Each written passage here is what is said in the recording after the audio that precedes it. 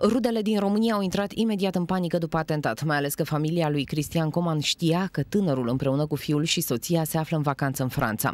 Soacra bărbatului care locuiește în Austria a mers imediat să-i caute la Nisa, însă doar nepoțelul și fica au fost găsiți. Știm că luni au ajuns în uh, Franța, pe coasta de Azur, în Nisa. Erau în vacanță.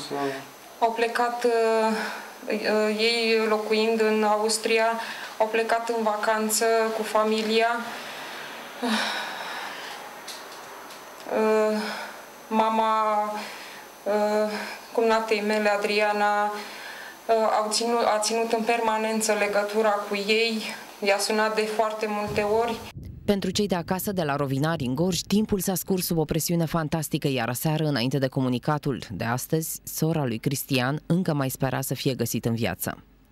Ultima dată când a vorbit cu ei a fost joi seară, în jur, din câte am înțeles și noi, de 10, fără ceva, nu știu exact.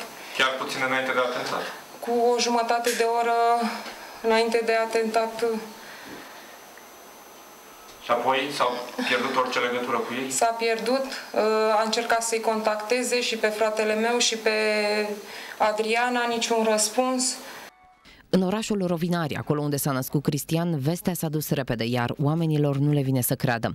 Ca și cum nu ar fi fost suficient lovită de soartă, familia Coman, sora bărbatului mort la Nis, a plecat astăzi la Cluj cu mama lor pentru o investigație chirurgicală.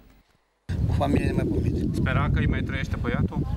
El așa zicea ieri că tot aștepta telefon de la Cuscră, s-a zis. Și, nu știu, în final n-am mai știut ce s-a mai întâmplat, ce mai că nu l-am mai văzut astăzi, nu l-am văzut. În tot acest timp, soția și fiul lui Cristian Coman se află în stare gravă, dar stabilă, în două spitale din Franța.